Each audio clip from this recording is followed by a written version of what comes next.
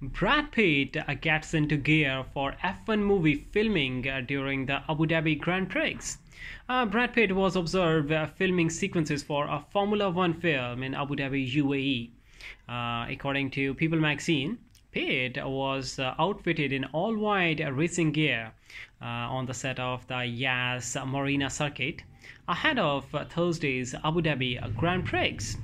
Uh, in photographs uh, posted online, uh, the actor uh, can be seen clutching an um, autographed hat while interacting with staff, personnel, and actors.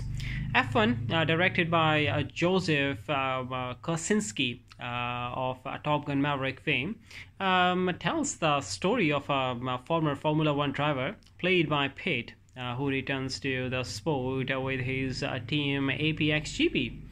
In addition to Pitt, uh, the picture stars um, um, Damson Idris, um, uh, who plays his colleague, and um, other renowned uh, performers such as uh, Kerry Condon, uh, Javier Bardem, and um, uh, Tobias uh, Menzies. It is worth noting that the video is being shot during genuine Formula One events.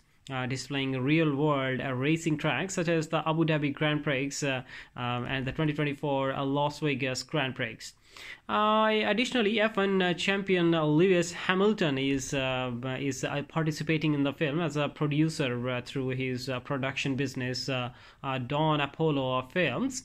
on June 27, 2025, the film will be released in cinemas and at IMAX.